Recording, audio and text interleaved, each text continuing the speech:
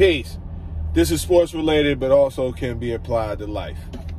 So, when you're dealing with the MMA, if you look at it, if you observe it, you'll notice that the turnover in the belt, the belt holding position is is rather quickly.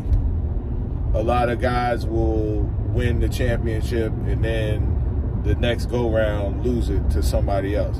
And the reason why this happens is because you can't beat everybody. There's always going to be somebody that has your that has the ability to beat you. Whether it be they already beat you mentally before you even get into the octagon, or they just physically just pound you out. No diddy.